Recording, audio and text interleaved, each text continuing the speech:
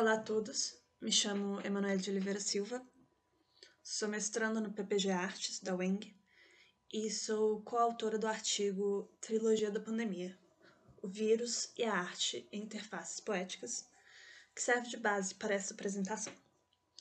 Este artigo surge a partir de pesquisas realizadas pelo Laboratório de Poéticas Fronteiriças. Nosso objetivo é apresentar algumas interfaces poéticas desenvolvidas por membros do grupo.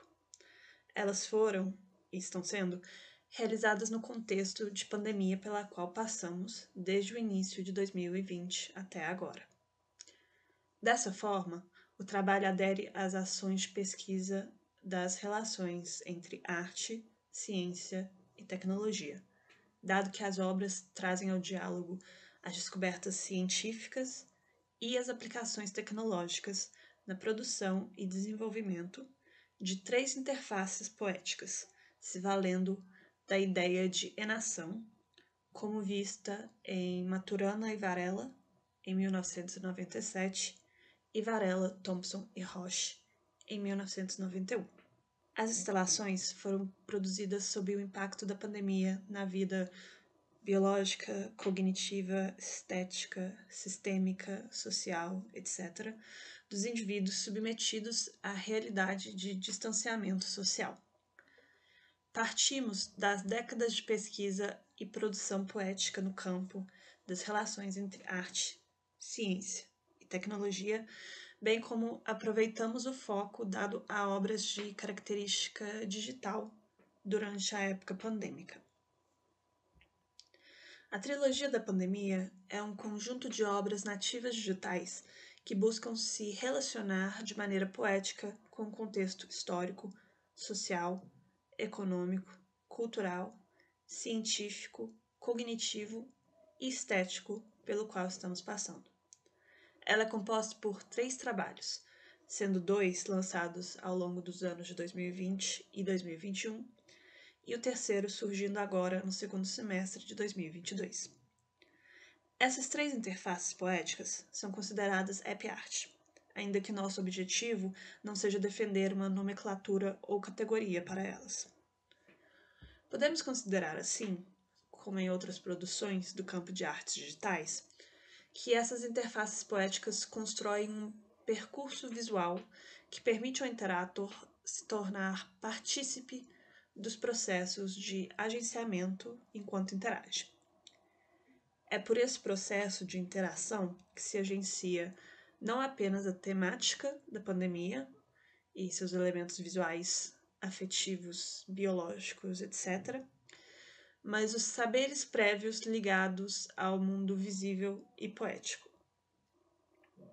É por isso que podemos entender essas aplicações a partir do conceito de poesia digital sendo esta, e aqui abre aspas, composta através do uso de ferramentas, métodos ou modelos surgidos após o advento das tecnologias digitais, estando submetida aos avanços tecnológicos digitais que possibilitam a sistematização de linguagens, verbais e não verbais, em uma mesma obra, de acordo com Gobira e Correia em 2019.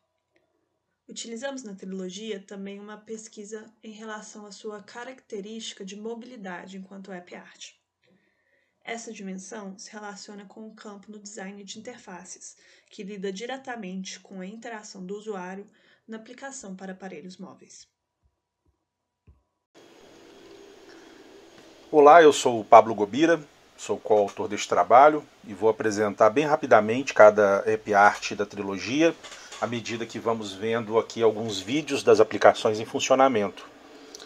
O primeiro aplicativo desenvolvido foi o Poemap uh, Covid-19, produzido e disponibilizado ao público em 2020, dialogando de maneira poética com o contexto de início da pandemia. A obra foi desenvolvida utilizando a Game Engine Unity em sua versão 2019.3.11 F1. Pela programação, nós nos apropriamos da câmera do aparelho de celular para transformá-la em uma câmera adaptada à realidade aumentada. Foi necessário criar uma imagem-alvo, uma target image, sendo a escolhida uma imagem representativa do vírus SARS-CoV-2, de maneira a possibilitar o mapeamento do ponto inicial de superfície para projeção do conteúdo renderizado.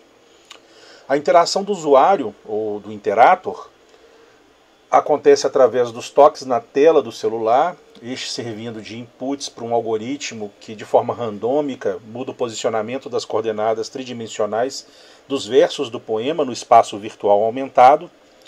E há também um, um outro algoritmo que realiza o deslocamento dos versos. Os versos aparecem saindo de dentro da imagem do vírus, afastando-se dessa imagem até seu apagamento no espaço de realidade aumentada. Já o aplicativo Lave as Mãos foi desenvolvido e disponibilizado ao público ainda em 2020, no final deste ano, ganhando o terceiro lugar no prêmio Shift Projetar o Mundo Após o Fim do Mundo, organizado pelo consórcio Del Sur. Essa aplicação foi desenvolvida através do framework Flutter para criação de aplicações móveis multiplataforma, utilizando a linguagem de programação Dart em conjunto com o SDK Android Studio. A programação consistiu no desenvolvimento de uma interface amigável que se apropria do relógio interno do aparelho de celular para configurar, durante um período, uma frequência de notificações para lembrar o usuário de lavar as mãos. Um cronômetro foi desenvolvido e, durante o tempo de 40 segundos, a aplicação mostra ao usuário um conjunto de 10 animações e 10 versos de um poema ilustrando o processo de lavagem das mãos. Já a última produção da trilogia da pandemia foi intitulada Vacina Estética e é uma instalação em realidade virtual imersiva. A aplicação consiste da modelagem tridimensional de uma sala pequena de hospital e foi realizada no software Blender 3D, onde os efeitos visuais e texturas têm como objetivo reforçar os aspectos de aprisionamento do olhar no ponto de vista da imersão estereoscópica. Após a modelagem tridimensional, a programação foi realizada na Game Engine Unity 3D com linguagem de programação C++. A interação com os elementos gráficos da instalação acontece através dos movimentos da cabeça do interator que o permite mover internamente na sala. Partes de um poema estão presentes nas paredes, permitindo que o interator o descubra à medida que percorre a sala através de efeitos de luz e sombras. Bom, é isso. Esses são os trabalhos realizados aqui no Labfront. Nós agradecemos a atenção de todos. Fica aí o convite para lerem um artigo que sairá em Anais da Ampap e também convido todo mundo para acessar o nosso website, as redes sociais do Labfront, o nosso canal do YouTube. É isso, até mais, muito obrigado.